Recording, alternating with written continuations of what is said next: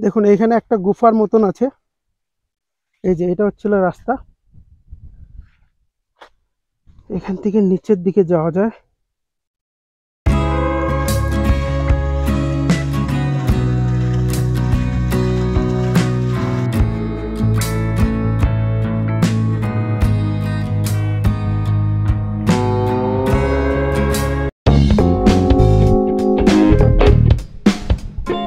Good morning everyone শুভ সকাল সবাইকে।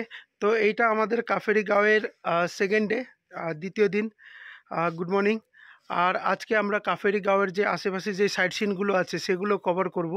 আর সেগুলোর আপনার সেগুলোর মধ্যে আপনার আছে গুম্ফাডারা নোকডারা ঝিল, ডাবলিং অ্যান্ড জেরং এই চারটা পয়েন্ট আমি আজকে কভার করার চেষ্টা করব, কারণ এখানে যেই গ্রামটা আছে, যে কাফেরি গাঁও, এখান থেকে যে সাইট সিনগুলো পড়ে, ওগুলো খানিকটা দূরে। তো চেষ্টা করব সময়ের মধ্যে রাত হওয়ার আগে এই সাইট সিনগুলো কভার করতে, কারণ এক একটা সাইট সিন কাছে নেই, অনেক দূরে দূরে আছে। ধরুন যেতে এক ঘণ্টা লাগবে, এগুলো সাইট সিনও আছে। তো চেষ্টা করব যে যত তাড়াতাড়ি সম্ভব আপনাদেরকে ফুল ইনফরমেশান দেওয়া, কতটুকু সময় লাগবে, কোন দিক থেকে যাবেন, আর কীভাবে যাবেন, আর প্রপার গাইডেন্স আমি আপনাকে করব। তো ভিডিওটাকে পুরো দেখুন, চেষ্টা করব সন্ধ্যার আগে এই পয়েন্টগুলো কভার করতে। ঠিক আছে? চলুন তাহলে দেখা হচ্ছে আপনার সাইট সিনে পয়েন্টে আমি যেরকম কি শিলিগুড়ির থেকে আসছি অ্যাক্টিভাতে দেখে নিন এটা আমার অ্যাক্টিভা কে ভাবতে পারেনি যে এত উঁচু রাস্তায় অ্যাক্টিভা টানবে, কিন্তু নো ডাউট খুব সার্ভিস খুব ভালো সার্ভিস দিয়েছে আমার বন্ধু। তো অ্যাক্টিভাতে আজকে এই সাইড সিনগুলো আমি কভার করব। আর কেউ যদি ভেবে থাকেন যে বাইকে আসবেন, তাহলে নিশ্চিন্ত আসতে পারেন। কারণ আমার অ্যাক্টিভা যখন টানতে পারে এত উঁচু রাস্তা তো আপনার বাইক তো আরামেই টানবে, ওইটাতে কোনো সন্দেহ নেই।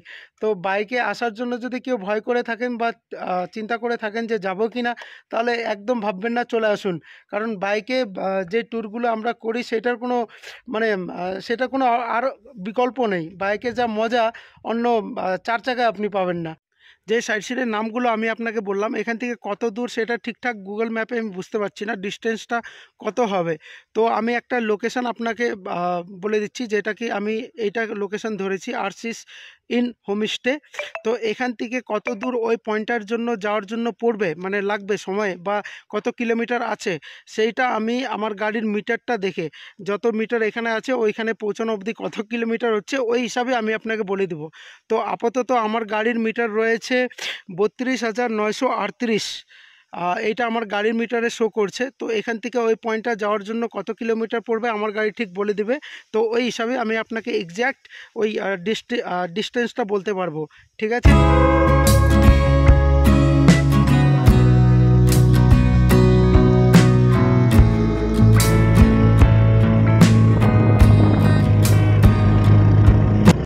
এই যে সামনে যেটা দেখতে পাচ্ছেন, এটা হচ্ছিল নোকডারা ঝিলের মোড়।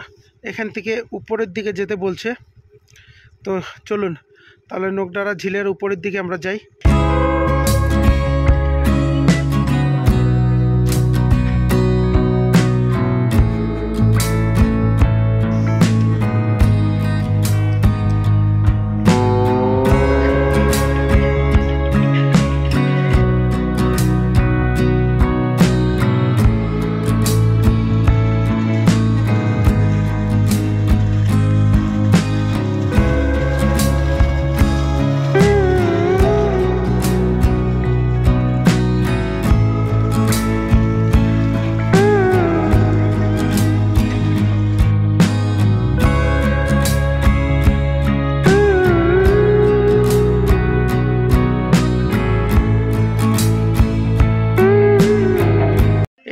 যেটা দেখতে পাচ্ছেন, এটা নোকডারা ঝিল বা নোকডারা বোর্ডিং কমপ্লেক্সও বলা হয়। তো এটা আপনার কাফেরির থেকে খানিকটা দূরে রাস্তাও ঠিকঠাকই আছে টু হুইলারে আসতে পারবেন। যেহেতু আমি যদি অ্যাক্টিভা নিয়ে আসতে পারি, তাহলে আপনারা কেন আসতে পারবেন না? যদি ফোর হুইলার নিয়ে আসেন, তাহলে তো কোনো ব্যাপার না। আপনি বাইকেও আসতে পারবেন, কোনো অসুবিধা নেই এটাতে। আর এই ঝিল যে এটা আছে, এটার ফির কথা আমি বলি এন্ট্রি ফি আমাদের থেকে নিয়েছে কুড়ি টাকা মাথা পিছু আর আমাদের টু হুইলার ছিল পার্কিং ফি নিয়েছে দশ টাকা। আর যদি আপনি ফোর হুইলার নিয়ে আসেন, তাহলে আপনার পার্কিং মানে পার্কিং ফি পড়বে কুড়ি টাকা। আর যদি আপনি বোর্ডিং করেন, তাহলে বড়দের জন্য অ্যাডাল্টদের জন্য পড়বে সত্তর টাকা করে মাথা পিছু। আর চোদ্দ বছর অবধি যে বাচ্চাগুলো আছে বা চোদ্দ বছর বা ওর নিচে যে বাচ্চাগুলো আছে ওনাদের জন্য পড়বে পঞ্চাশ টাকা করে মাথা পিছু। তো আপনি যদি কাফেরি ভিজিট করেন, তাহলে এই ঝিলটা অবশ্য ভিজিট করুন। খুব সুন্দর লোকেশনে এত উচ্চতায় আপনার এত সুন্দর ঝিল অনেক কম দেখেছি আমি। তো আপনারা যদি ফ্যামিলি নিয়ে আসেন, তাহলে বাচ্চাদেরকে বা আপনারা আপনাদের যে আপনাদের যে ফ্যামিলি মেম্বার আছে, ওনাদেরকেও খুব এনজয় করাতে পারবেন এই ঝিলের মধ্যে। এবার বেরোবো আমরা নেক্সট ডেস্টিনেশনে ঠিক আছে, চলুন দেখা যাক, এখান থেকে কতটুকু পড়ে তাহলে।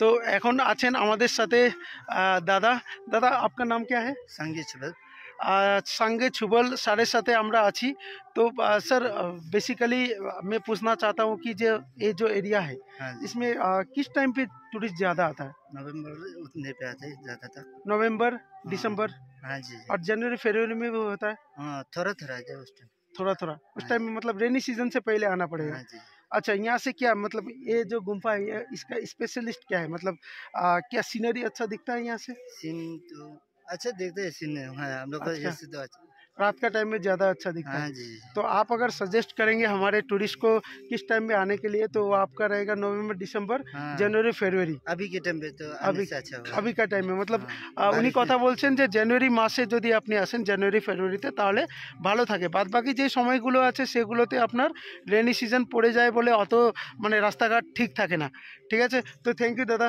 থ্যাংক ইউ সো মাচ আপকো এই সময় দেনে কিনে। থ্যাংক ইউ সো মাচ চলুন এবার বেরোনো যাক গুম্ফাডারার থেকে আপনাকে যে আমি দেখালাম যে নিচের জায়গাটা আছে যেখানে অনেকগুলো আপনার দিয়া জ্বালানো ছিল সেটা হচ্ছিল ওদের পূজা স্থল।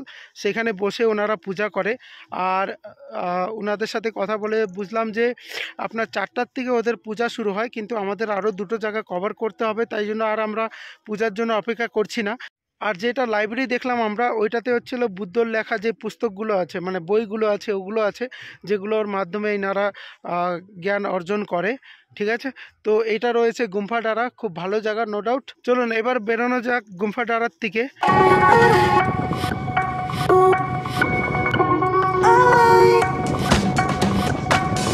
এটা হচ্ছিল আপনার ডাবলিং ভিউ পয়েন্ট এটা যে বুদ্ধর মূর্তিটা দেখালাম আমি, কাফেরির মোড়ে। ওখান থেকে মাত্র তিন কিলোমিটার দূরে এটা। চলুন তাহলে ভিতরে ঢুকা যাক।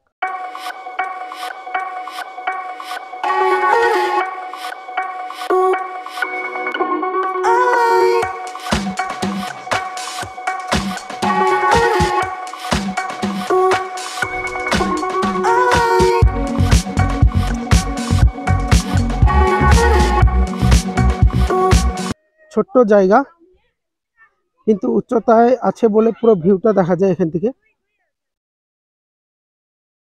বাচ্চাদের খেলার জায়গাও আছে।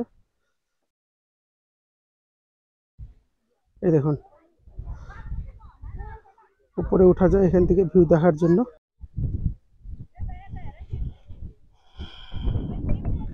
বাহ, খুব সুন্দর।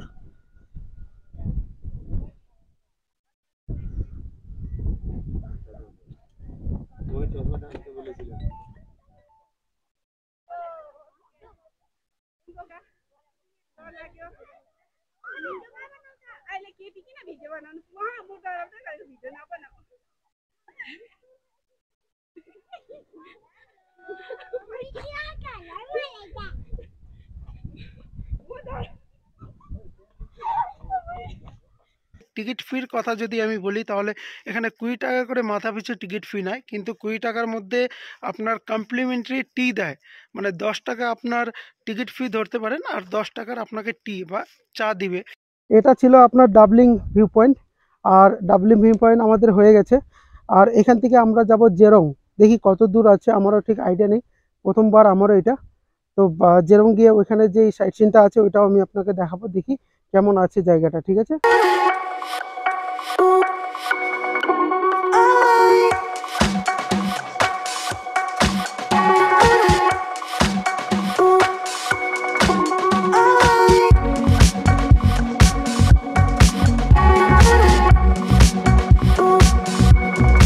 ডাবলিং ভিউ পয়েন্ট থেকে সোজা আসার পরে এই দুটো রাস্তা পাওয়া যায়।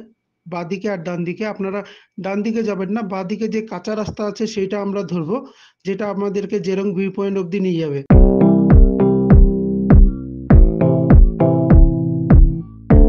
এটা হচ্ছিল জেরং এ জেরং ভি পয়েন্টের এন্ট্রেন্স টিকিট কাউন্টার আছে, কিন্তু টিকিট নেওয়ার জন্য কেউ নেই। হয়তো অফ সিজন বলে ছাড় দিয়েছে। ভালোই হলো, আমাদের টিকিট লাগল না। চলুন ভিতরে যাওয়া যাক। ভিতরে যাই, দেখি কি আছে। কেমন আছে পয়েন্টটা এইটা মাত্র ডাবলিং ভিউ পয়েন্ট থেকে দু কিলোমিটার নিচে আসলে আপনি এই জায়গাটা পাবেন। দেখে মনে হচ্ছে একটু মেনটেনেন্সের অভাব আছে। আচ্ছা এটা উপরের উঠার জায়গা।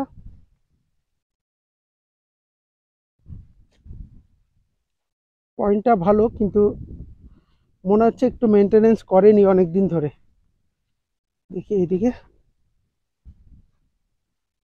আচ্ছা ওই নিচেও আচ্ছা এই দিকের থেকে নিচে যাব।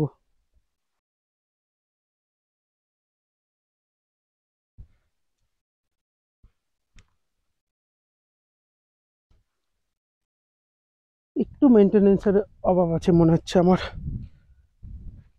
কারণ জায়গাটা খুব সুন্দর।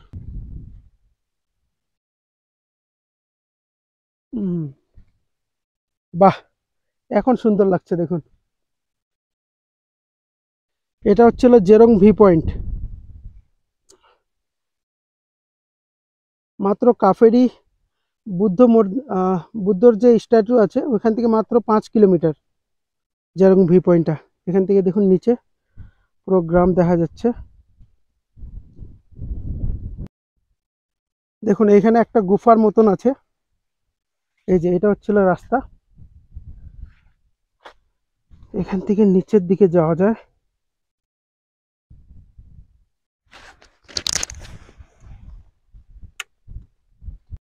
সিঁড়িটা খুব ভয়ঙ্কর। একটু সাবধানে। বাপরে! আমার তো ভয় লাগতেছে ওরে বাপরে। দেখুন কেমন জায়গা আছে ঘোরার। জানি না ওইদিকে কি আছে। যাই দেখিয়ে দিই আপনাদেরকেও। আচ্ছা। আচ্ছা এখানে দেখুন, এখানে বুদ্ধর স্ট্যাচু বানানো আছে। এদিকের থেকে খুব কঠিন জায়গা। দেখুন, এখান থেকে আমি নেমেছি তখন। এই গলির থেকে কাঠের সিঁড়ি লাগানো আছে। আর সিঁড়ির অবস্থা খুব খারাপ। কিন্তু একটা গুফা টাইপের রাস্তা দিয়ে আসতে হলো। ভয় লাগছিল, কিন্তু কিছু করার নেই, ঘুরতে তো হবেই। আর আপনাদেরকেও দেখাতে হবে। দেখুন। তো বন্ধুরা, আজকের জন্য এখানে রাখছি। এই ভিডিওতে আমি আপনাকে দেখালাম চারটে সাইট সিনের জায়গা, যেটা কাফেরি গাঁওয়ের আশেপাশে রয়েছে। আমি অ্যাক্টিভা নিয়ে আসছিলাম। তো একা জার্নি করতে খুব প্রবলেমই হয়েছে আমাকে। তো প্লিজ ভিডিওটাকে যদি ভালো লাগে তাহলে আপনি, আমার চ্যানেলটাকে সাবস্ক্রাইব করে দিন লাইক করে দিন আর কমেন্ট করে দিন, ঠিক আছে? তো দেখা হবে নেক্সট ডেস্টিনেশনে নেক্সট ভিডিওতে ততক্ষণ অবধি ভালো থাকুন, সুস্থ থাকুন।